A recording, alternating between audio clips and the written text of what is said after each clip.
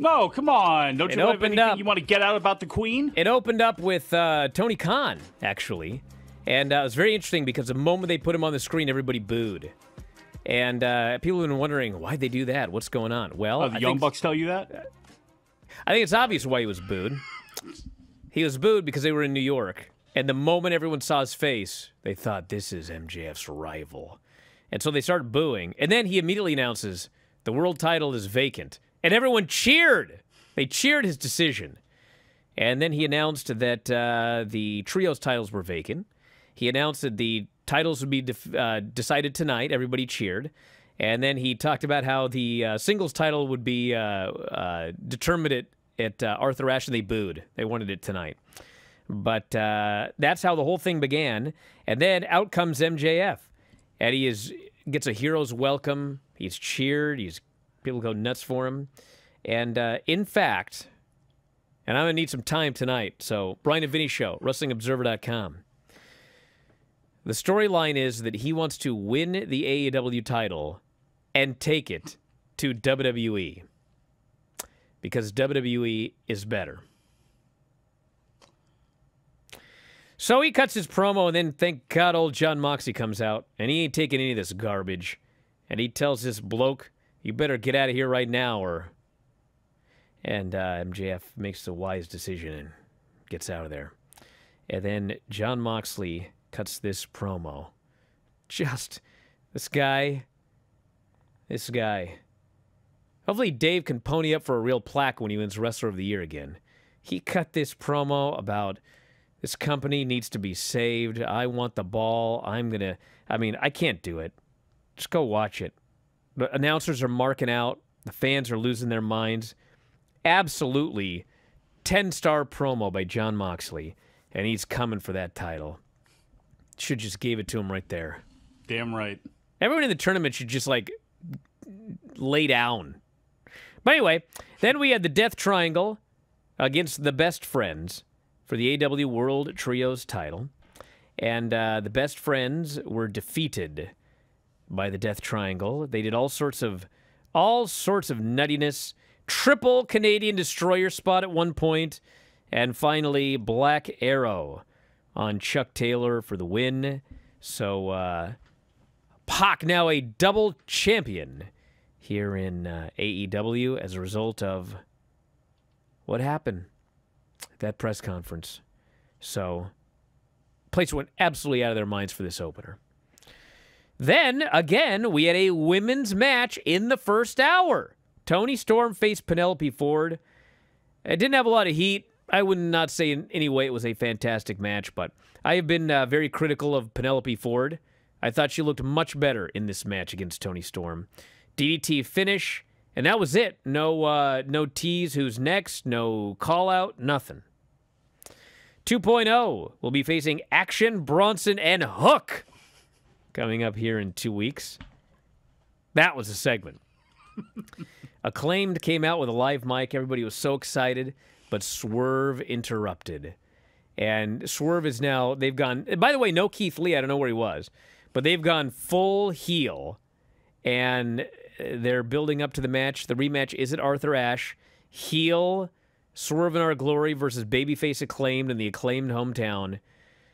Dude, that's a tough act to follow, that pay per view match. But they're going to try. And I presume it has to be a title change, which would mean two title changes, by the way, on one show. But I guess we had that here as well. We had a Jericho Appreciation Society promo. Jericho basically told Daniel Garcia, uh, "You weren't there for the celebration Sunday," because of course Daniel Garcia said you could you can win without cheating, but Jericho cheated, and so Jericho goes, "Well, you can win that uh, that pure title tonight, but we ain't gonna be there." Wardlow destroyed Tony Nese. Then cut a promo saying, I read on the internet people think that, uh, you know, I've been, uh, forget the term that he used, but, you know, the uh, momentum is stalled. He has vowed to regain the momentum. And the problem is, the only way for him to regain the momentum is to build him up for something bigger. And uh, unless he's going for the world title, which he's not, I mean, I don't know how you give him momentum back by just having him come out and do the exact same thing every week. So he did the promo, but I don't know what their plan is. Bryan Danielson, Hangman Page. Dude, great match. Went through two commercial breaks. I think it went uh, something ridiculous, like 19 minutes, 26 minutes, something crazy. And uh, Danielson's great. Hangman did great. Hangman goes for the uh, buckshot. Uh, Danielson avoids it. O'Connor roll with a bridge, pins him, moves on in the tournament. This awesome professional wrestling. We had a great Jungle Boy promo. So uh, you know, at the at the show Sunday, Christian came out in a giant brace, didn't even do a match, and uh, I speculated that he was injured. And then later, I was told that he was injured and would be uh, requiring surgery. But uh, none of this was ever announced by AEW. And then here on this this pre-tape, Jungle Boy just randomly says, "Go get your little surgery." Okay, must have listened to my show. But anyway, uh, he's going to target Luchasaurus in the meantime and uh, take out that big lizard. Going to make him go extinct. A Stokely Hathaway promo where he celebrated winning the poker chip, and then some bloke tried to uh, wrap him up, and so uh, they wrapped him up. Rampage! I guess we'll have to have uh, my buddy do that one. Dynamite, we got Danielson, Jericho next week. Jon Moxley, Darby Allin, Sammy in a. Uh, oh, it's a one or the other. Whoever uh, wins on Dynamite faces Jon Moxley in the tournament. And then Grand Slam, Swerve in Our Glory versus the Acclaimed. And that led to the main event, which was Daniel Garcia in his hometown, Buffalo Boy, against uh, Wheeler Yuta for the ROH Pure title.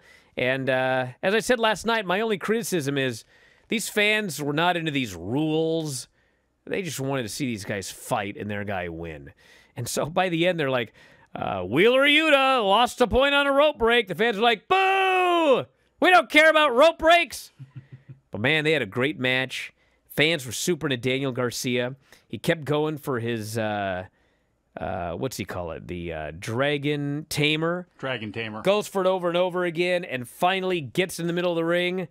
Wheeler Yuta taps out. Daniel Garcia's won the championship in his hometown. Place goes crazy. They're all freaking out. Bryan Danielson comes out. He straps the belt around Garcia's waist. He shakes his hand. And the final shot is Chris Jericho coming out, and he's furious. What are you doing? So uh, this builds up the uh, Bryan Danielson versus Chris Jericho match, which is next in the tournament, rematch from the pay per view. Builds up the uh, Garcia Jericho Bryan Danielson storyline. Where is uh, Daniel Garcia going to end up? And uh, overall, given and here's the thing with this show. Here's the thing with this show, everybody. Tony likes a plan. Tony likes to book long term. Sunday messed everything up. And so he had to come out here on Wednesday and he had to do something that he hasn't had to do a lot and he needs experience in, and that is find a way to pivot. And I thought that uh, overall, top to bottom, booking wise, I thought he did an excellent job pivoting on this show. It felt like a hot show. There was not one CM Punk chant on this entire show. There was no Elite, Kenny Omega, Young Bucks, CM Punk, Ace Steel, none of them. And it felt like a hot program. You have you still have tons of big stars. You've got a direction. I thought you did an excellent job on this show. I agree. Three and a half days ago, you know, it was just nothing but carnage and chaos taking place. We have three wrestling shows that take place, including a pretty controversial finish for some people with Roman Reigns and Drew McIntyre. And then by Sunday at 2 o'clock in the morning Eastern Time, Nobody remembered any of it because of everything that took place. And here's all of his plans getting balled up and thrown into the trash can. He's got legal issues. He's got personnel issues. All of these headaches that have been, he thought maybe could be behind him after a great pay per view. Nope, that's not the case. It just got worse. So pressure can create diamonds. And I thought that was a shining show last night. I don't like the constant countdown clock with MJF and WWE. I get it. I don't like it. But last night it did serve a purpose for anybody that was looking for non in ring drama. They got it last night. They weren't going to get it with CM Punk and them talking about any of that stuff that took place, but you got a little bit of it with MJF. His promo was outstanding. How he came out there, how he controlled the crowd. He mocked Punk a little bit, you know, putting himself up against the gate and going in there and all that stuff. So you got a little bit of a taste of it, but I thought it was excellent. And then Moxley goes in there.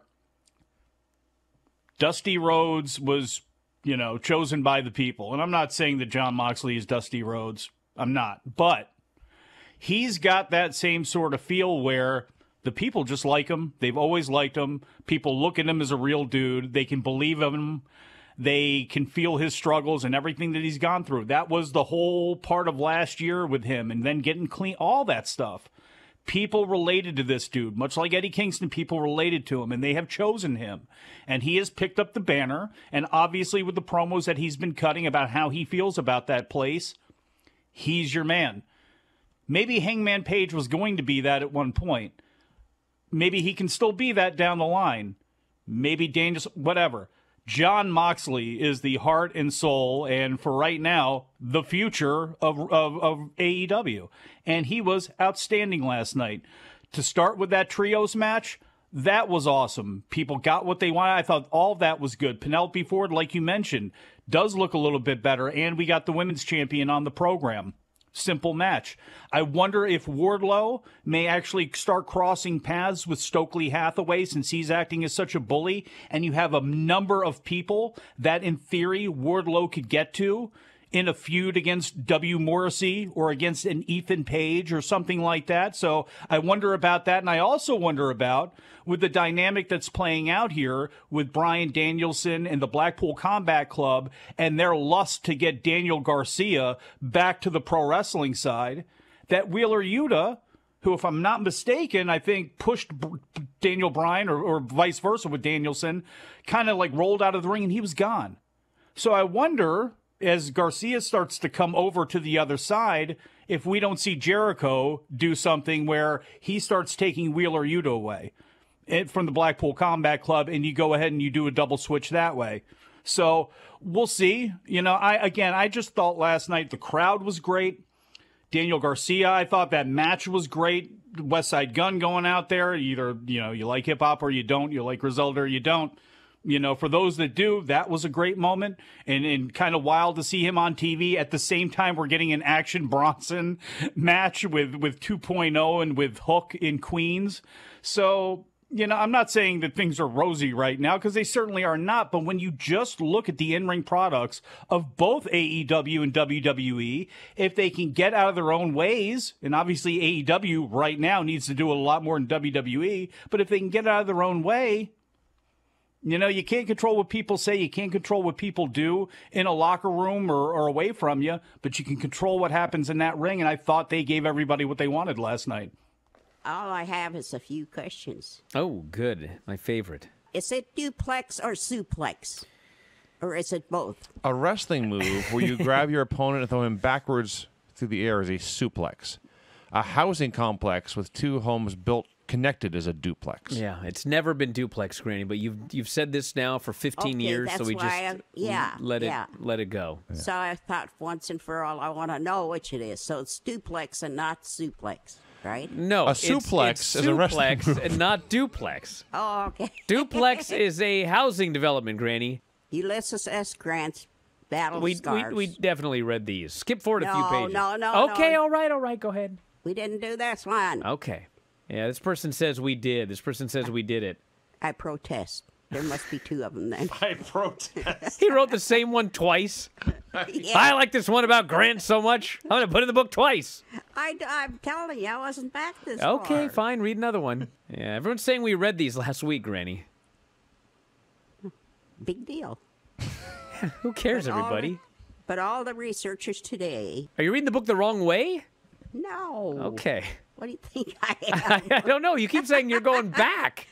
Why would we go back when reading a book? We're supposed to go forward. Maybe what happens, Granny, is you put the bookmark in, and then when you open it to that page, you start reading the ones we already read. Maybe the bookmark should go on the next page. no. Okay. what do they say in court? I object. I object. Objection, Your Honor. Yeah, that's right. I didn't read that again. Overruled, Granny, you did. All right. Anything else, Granny? You're guilty. well, Go to go to jail. Your guilty was the high spot of the week. I'll, you I'll- shut me off. no. Oh, you're right here. Hello? Can you hear me? Hello? There was some weird rumbling going on, like she, Uh-oh. she's unplugging her own cord there. I think you unplugged the on, cord. Can't hear you. You, you, can you hear me? Can you hear me? I I'll message you. I'll message you. I hear you now. Oh, now you do? Yeah, now I hear. What happened? what happened? I don't know. Ah! All right. If you enjoy these videos, for just $7.99 per month, you can enjoy full length editions of The Bryan and Vinny Show, Wrestling Observer Live, Figure 4 Daily with Tom Lawler and Lance Storm, the Mat Men podcast, Speak Now Pro Wrestling with Denise Salcedo, and more, plus hundreds of archived shows, all in beautiful HD. Don't miss out. Join us today.